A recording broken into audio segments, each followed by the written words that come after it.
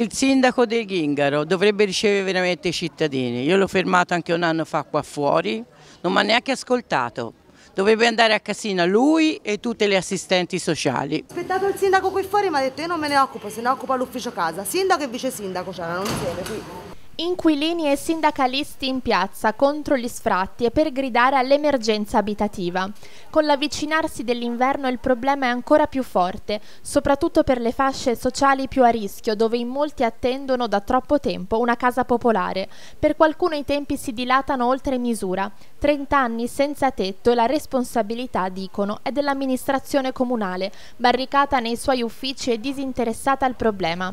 Le famiglie ancora in attesa di un alloggio popolare fare, spiega il sindacato Sunia, sono ancora tantissime, eppure il comune sembra non accorgersene case pubbliche del comune che non vengono assegnate come quelle di Erpe, non vengono assegnate quando ce ne sono 35-40 vuote. Se fossero eh, messe in condizione da non poter essere assegnate eh, si può fare eh, l'auto diciamo, recupero, provvedere a questo in modo che chi può entrare non si fa attendere la risposta da parte del sindaco Giorgio Del Ghingaro che non usa mezzi termini contro il sindacato, un tempo glorioso dice, e oggi ridotto a cavalcare l'emotività dei cittadini, pur di rendersi visibile e dare una ragione di esistenza al proprio gruppo dirigente.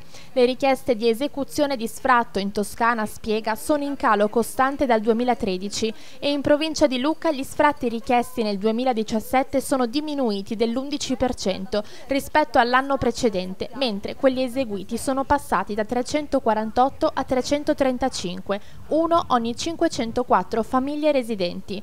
Se in un comune che dispone di quasi due case popolari per ogni 100 abitanti, conclude il sindaco, ci sono ancora famiglie che non hanno casa, il problema vero non è l'emergenza abitativa, ma i troppi anni di lassismo e di mancata manutenzione del sistema.